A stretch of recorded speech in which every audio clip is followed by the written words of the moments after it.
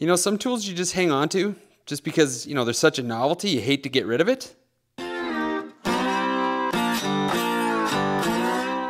You know, here at the Sprucestomper YouTube channel, we can tend to get distracted. I was setting up to do a YouTube short on this particular tool, the Black & Decker Auto Tape.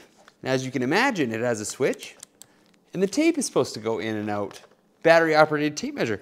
But it gave up the ghost, and then I fiddled with it, and, uh, and part of it fell apart. So it has such high novelty value that I thought, well, we can't just throw it away, so let's take it apart and maybe it can be salvaged. See, with a project like this, you really got nothing to lose. Now, of course, Black & Decker in all their wisdom didn't want you to take this apart, so it's got these stupid safety Torx bits. They got the pin in the center of the Torx. So a regular Torx doesn't fit. You need the corresponding bit that's got the little female hole in the... And I have the right tool, but it does not fit in the hole. It is uh, too big. So being that, you know, we really got nothing to lose, uh, we're just gonna do this. Oh, I think it got it. Look at it, isn't that cute? Chicka, chicka, chicka. Tiny little, I don't know if we're actually on the, uh, I don't think we're actually on it. See that uh, drill bit's not as sharp as it once was. Man, I'll hand it to Black & Decker. The uh, the plastic is pretty thick. I didn't break, I didn't break through the sides. Is that gonna give us trouble? I think I'm gonna grab a nut driver. Let's uh, hold the end of the, the bit. What do we got here? Should be one of these. There you go, see? Now we're in business. Push down and turn at the same time. Oh, I can't. That's too deep. Foiled again. Huh, can you believe that? Not only were they a special bit, but three out of the four screws are a different size. The first one was a T8, and the rest of these are T10s. What do you suppose they were so worried about you getting at? As I open up this uh, tape measure and it all springs to life in my face, maybe, maybe they were trying to save me that trouble. That one don't fit still. You don't ever have to get the next size of drill bit up. You, you just wiggle the one you have side to side and it, uh, it finds what it needs. There we go. Another one down. Now I know that some folks might just turf this in the garbage. I prefer to take it completely apart, maybe get thoroughly frustrated with it, and then throw it out. Something's going on with that bit. Like I think I might have I might have given her the goods too much, and uh, now it doesn't want to to go. Doesn't want to bite. Guy's got to be able to grab it and push down at the same time. Spin it and push at the same time.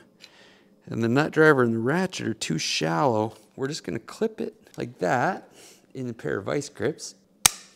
Haha, see? nothing holds us back. Oh, it's already starting to come apart though. Easy, Tiger. I don't know much about tape measures, but I'll tell you what, I have seen the inside of one a time or two before after I've dropped it, and uh, they spring to life with force. It's kind of like taking the recoil off of a small engine when you're unprepared for what lies beneath, and boing!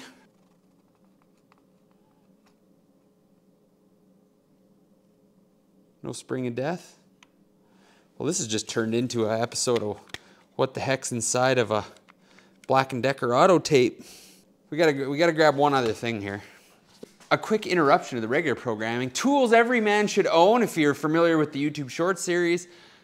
Magnetic parts tray. Because if you're like me, these little tiny screws are gonna last for about, uh, well, 0.0 seconds. So that's magnetic to the bench and one, two, three, four.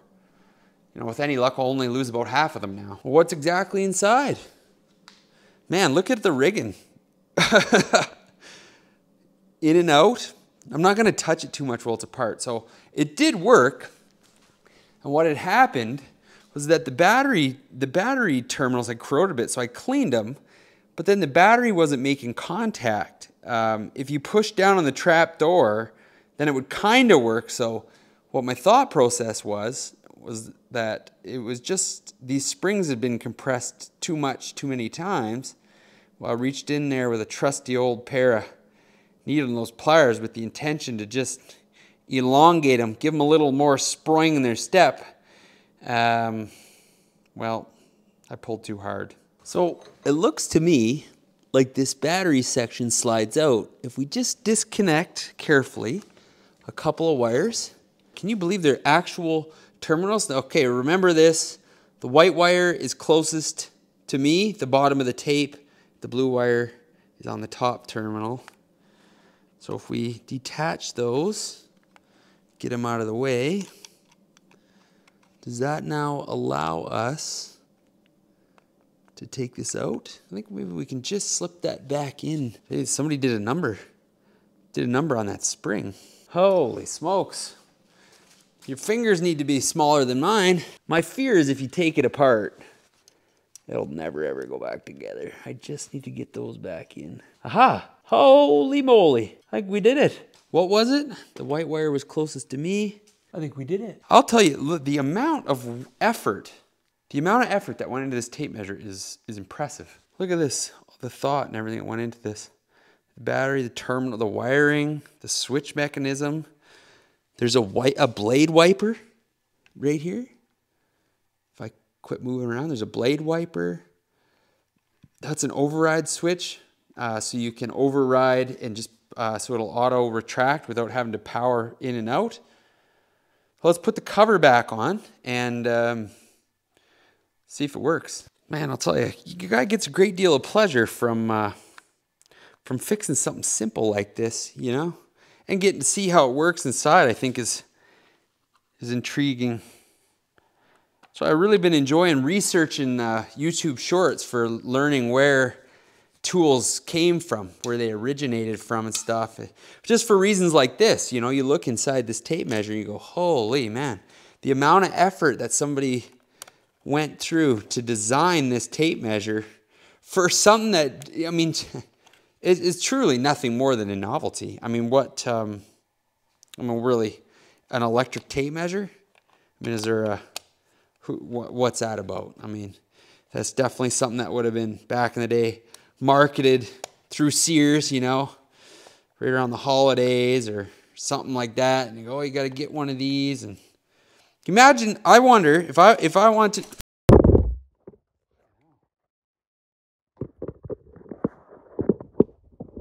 Whoa. You, you guys jumped off the bench. Well, how do you like that? Now I got two things to fix. So it wasn't casualty free accident here. I got to switch, got to switch to the big guns now. Something a little more heft to it. Well, there you go. What do they say? The show must go on. I didn't lose any tools. I didn't lose any screws. Holy smokes. I like that little tripod too. What a, what a tragedy. I'll tell you, going uh, filming YouTube videos, you go through a little bit of hardware once in a while, I find. I have been through a few uh, small tripods. Sacrificial. You fall over and bust. You just don't always want to be mucking around with a big, you know, a big one like the one you're sitting on now.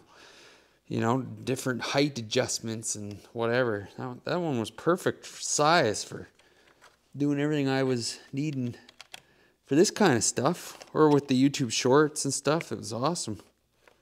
Busted now. I'll have to get out a hot glue gun and see if we can make a go of it.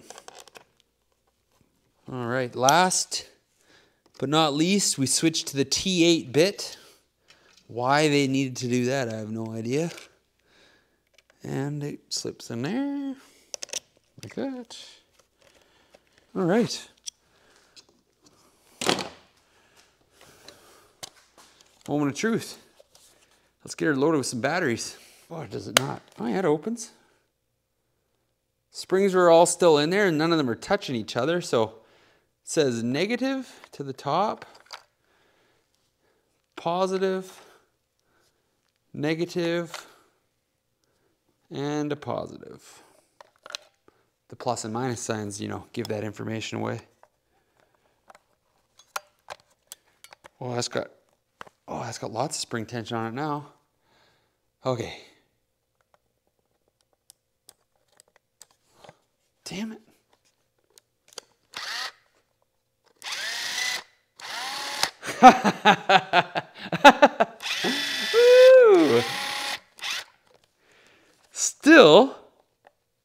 something funky going on with the, the latch. Oh no.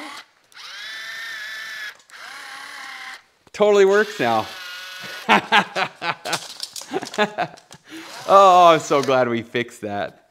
Uh, this actually belonged to, uh, to my grandpa. He was, uh, I mentioned it before in the videos, I think he was an automotive mechanic and uh, the man kept everything. He grew up in a depression time, so his theory was that uh, know if your screwdriver fit the nut or the bolt, he would take it apart and he would throw it in an old coffee can and save it.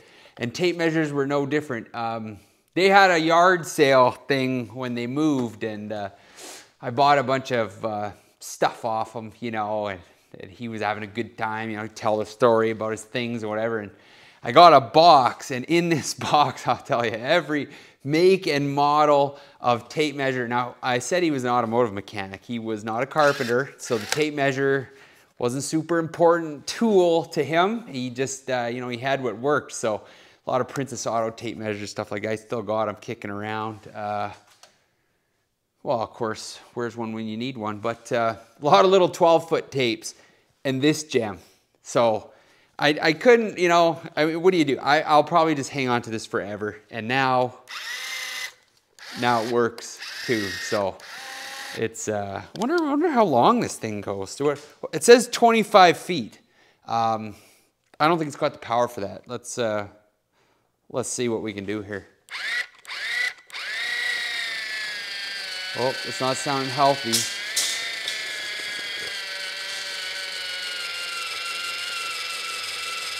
Are we tempting fate? We're out, we're 18. I, I don't want to push her. Then we'll, there'll be no fixing that. Holy shit. Look at the retraction rate on this baby.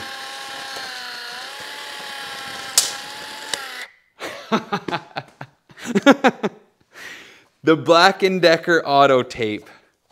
Yeah, with its customized drilled out holes for easy maintenance and access. Oh man, I'll tell you, look at that. It's got a, it's got a buckle, belt loop buckle on it.